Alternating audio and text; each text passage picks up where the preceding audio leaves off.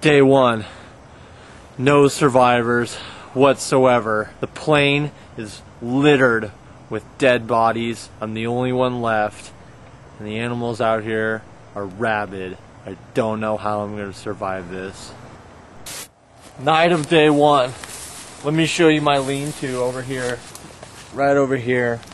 Right under here is where I go. Oh, it's wet. To sleep. Like so. I sleep by myself because there's no survivors. Yeah! It's the night of day one. I dump where I lay in fear of rabid animals might rip my limbs from my body. Now, thirst awakens me, and I have to go get some water from the nearby stream. I pray that it isn't toxic. Ah. I have now quenched my thirst with this dirty creek water. But now, hunger strikes. Behold. On the banks of these shores, it appears as though there is a duckman waddling by. I shall maybe kill him in the near future and eat him as a feast to feed my belly. Day 3.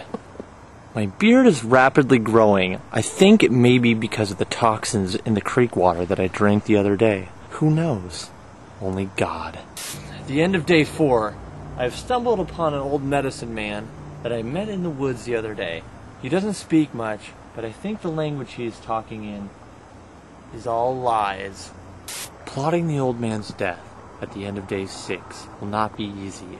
I think I'll probably do a sneak attack when he's going to get some water for both of us down by the creek. It won't be easy since he speaks of all lies, but I'm gonna kill him. Day nine!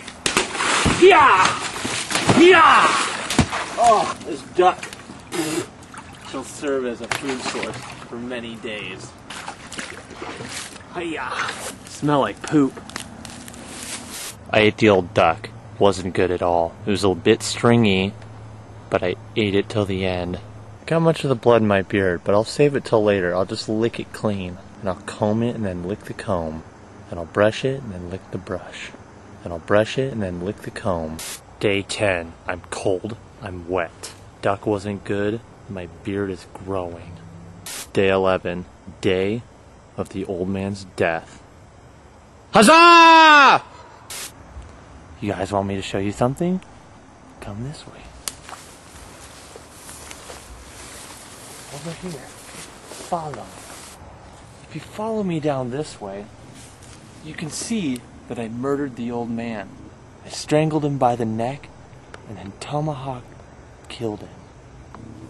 Lying next to him, in my blind rage, I killed another survivor. And there was no one here to save him but me. But why would I do that?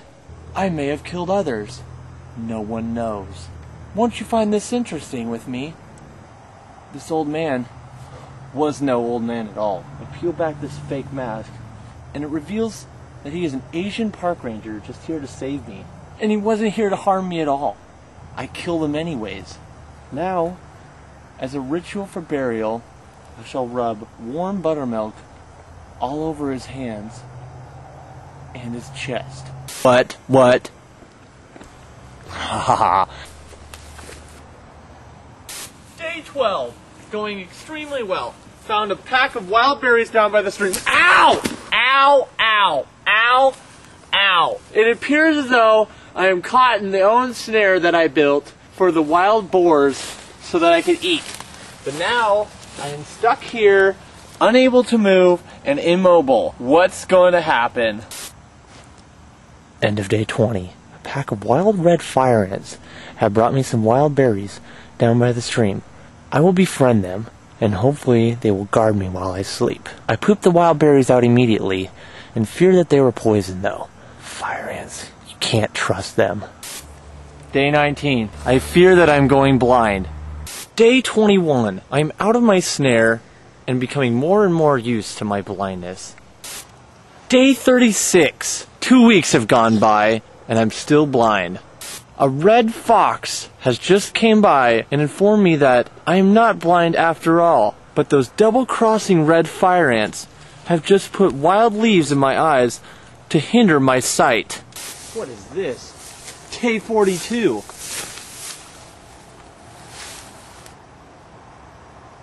Hello, walkie talkies. Hello? I can't hear you. Why are you crying? Stop crying. Hello. It appears as though I have made contact with the outside world. Seems as though I may have a way out here after all.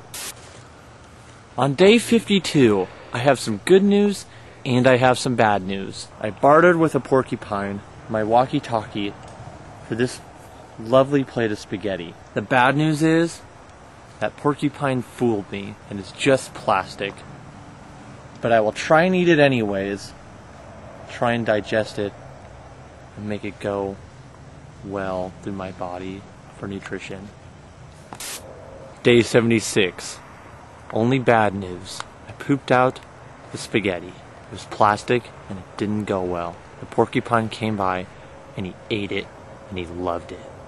Day 100. I have lost track of the days, I have lost track of the time, and I have lost track of my journal. Over yonder is a Shell gas station where I may be going to buy some gummy snacks, maybe some lightning bugs, because I have $6 here in my pocket. Shred of hope. Oh. Oh.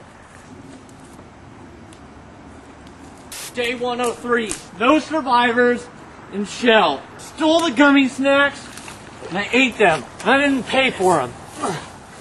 There's no survivors. Guess I'll die alone in this cruel world.